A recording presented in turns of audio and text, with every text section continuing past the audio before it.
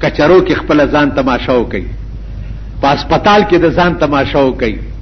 تانه تور شي د ځان تماشا وکړي څه خدای ذلیل کړي د زړه کې وګورئ هسپتال ته مریض بورځه اجنکای به داسې ټیل وای په د پاسه هغه چپړاسی هغه وارډ نرسته که څه خنزیر ورته وي هغه هغه دې داسې ټیل وي په د پاسه به بل هغه سره ټوپه والا نه نوځي چې وځي ډاکټر راځي راوند کوي که کور دې وران شنو ډاکټر چرون کې نو په مزه سو کوم وځي بار وځي لارې خالی کوي او یو هند هند بجور شي هغه ورځ دلته یو بل خیال وکړي هسه وایم چې تاسو پوهیږئ نه د صدر ته چې دیو دی پل نه کوشي او صدر طرف ته تاو شي دلته بارډر لینډ دی کنه شته بارډر لینډ هم لیدلې لټه محرم د بارډر لینډ سره د پمپ نه چې مخ کې شي نو دلته ډبل روډ دی نو د بارډر د جرنیل دفتر ته مخامخي په ډبل روډ کې زنجیر اچولې ده زنجیر چې زنجیر اچولې ده نو زه په چوره لمنو ما ډرایور ته وی چې په دې زنجیر ورشه نو التا بارډر سپایان ولاړو ستوري والی دیو سره پټای تړلې دیو کنه شور شورې مر شورې راز وړن کړی ما په دې ورشه اسپای را منډه کړه اولدار ما مالوی وای جنرال صاحب د کور نه راوته دی او را روان دی او په دې لار راځي اوس مال ما پیژني ویل نه جی ما زه د سپریم کورټ جج ما د شریعت ویل خجی بزر هغه سیخو هغه دغه غرزولو ازنجیر مونږ پیراتیر دا قوم دی او د بارډر جرنیل راځي نو هغه له روډ بند کړي دي چې تب پتلیم نشي سټه موزه خبره د غړو غړو ده که غریب سره د ځان د پکوړې غوندې او تلې په تیلو کې کنه دا غړ چې دی او دا غټان دا باشنایان نه کې او نه به یاران کې د غریب سړی یار چرته خان جوړ شوی دی ارباب جوړ شوی دی سرمایدار جوړ شوی خور شي تا خو کوسه ډب سپی ګڼي پلي کوسې در باندې ساتي پلي حجرې در باندې جارو کوي زمونږ یو استاد هغه به وی چې ځان نو چت سړی ته دوستو نه وایي خدایم بنیاد وباسه ځان نو چت سړی ته چې دوستو وای چې تو ورشم دا غي عزت پکې او چارا شم دا غي عزت پکې څومره تعلق چې ساتي ځان نه لاندې خلکو سره بساتي هغه ورځ یو لوی افسر راغلی زمونږ دکان ته نو زمونږ دکان کې چای او پیالې چې دي نو هغه مونږ په درې درې روپۍ اخیستې دي بعضې سیزونو کې خو زما قرانې هم غرض دي که نه نو هغه مې درې درې روپو والا پیاله کې مې چې نو هغه پیاله ونیوه خو لاس یې رېږدېدو وایي چې جي کوپ موپ نشته نو ما ورته ویل چې نه کوپ پیاله نشته دلته وی چې ولی مال یو دو دوستان په لار روانو نو یو له خوب ورغه هغه وی چې مال خو خوب راغه به بالغ ته خوب ناراضي سوکم نو د بل دوست ورته وی چې سر دې زما په پتون کې ده پردې وطن دې پکې نشته بالغتونه مالداجی دا دنیا ټوله پردې وطن دې پکې دغه د خورو پیالې دي کسکه اوس کې نکې ده تاسو خیال راغی زما مذهب او ایمان دا دی ما سره جوخت بیکرای دی او پسټیانی دی او دغه دی قران ولا ور کوي چې بجلیګر مولا چرته ملمت کیک پیسټری وغیرہ بسکټ در نه راغوختی دي چره کمشنې چای یا تورې چای چې مونږ کو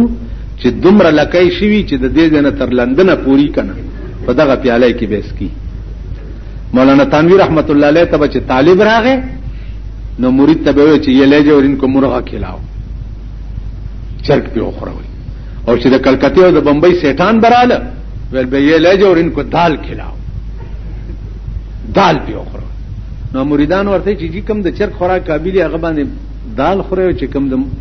هغه کله جدید لذیذ هر نوې شی مزیداری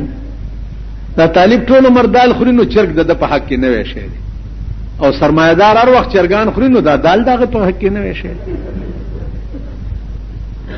خیال امراغی دي نو عرض مې داو بچا چې لک سوچ کوي په خدای مې دې قسمی چې عمر لا بجاړي دا د نوح علی السلام الفاظ دي چې په قوم عذاب راتلو او د تیارې د کشتۍ کولو او قوم ورپورې خندل نو نوح علی السلام ورته ویل چې فلیضحکوا قلیلا ولیبکوا کثیرا لغون دی او خاندي بیا بډیر جاړي ډیر بجاړي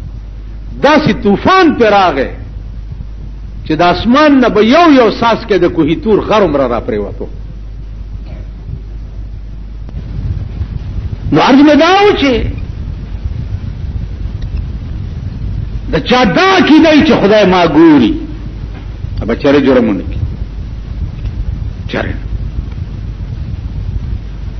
یو پیرو پیر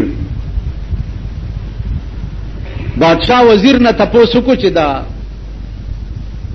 پیر رتبه لوی یو کده یو چړی یو د طالب وزیر ورته وی چې د طالب رتبه لوی داسې نه رتبه د پیر لوی خلک راځي او لاسونه سپي او پلانې دنیا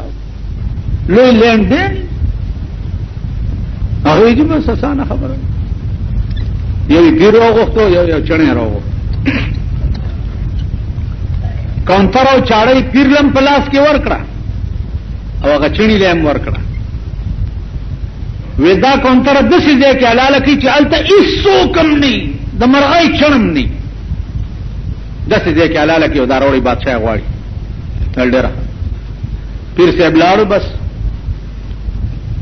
خلوت خانه ته نه نوت ولته ایس نو چړم نو د مرغل ته حلال کړ اور صاحب دادا سي ځکه می حلال کړ چلته ایس سو چړې ګرځي ګرځي ګرځي تا خانه ته نه نوتو ما خامه پورې رپړه کوچاو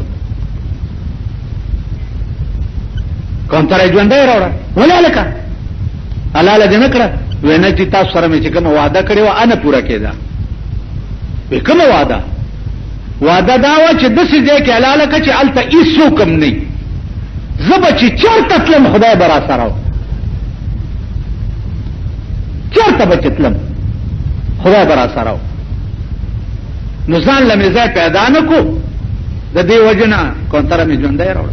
ول په دې دلیل څه دی ول په دې دلیل د خدای قران کم یو وی الله وی نحن اقرب الیه من حبل الورید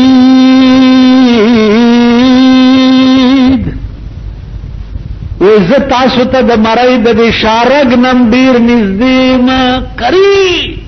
قریب دا معنا چې تا کې ما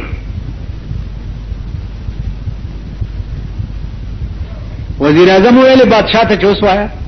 رتبه د چاو چتا ده یا رتبه دا غا چاو چتا ده چې څوک د خدای او د رسول د علم په طلب پسې ګرځي دا ټیک ده دا نور څه غپ ده نو عزیزانو چې زمونږ دا کې دی چې خدای ما ته ګوري او چې زه غړېږم خدای ما ته ګوري چې زه شراب سکم خدای ما ته ګوري که زه زنا کوم خدای ما ته ګوري که زه غلا کوم خدای ما ته ګوري